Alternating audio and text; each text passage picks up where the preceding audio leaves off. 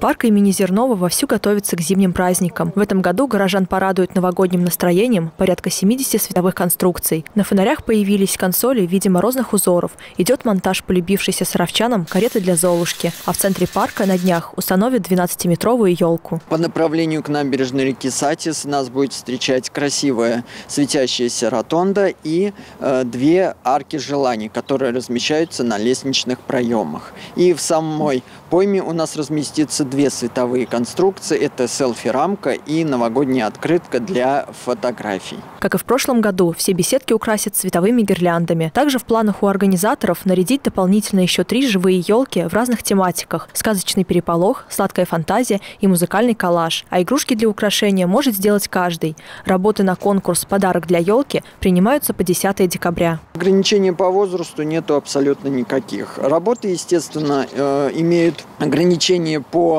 Э, формату они должны быть не более 20 э, сантиметров, да, иметь крепкую завязку, за которой будет прикрепляться к еле данная игрушка. Работы принимаются по адресу Зернова 64, это Дом молодежи. Все подробности о конкурсе можно узнать по телефонам 982 52 982 59.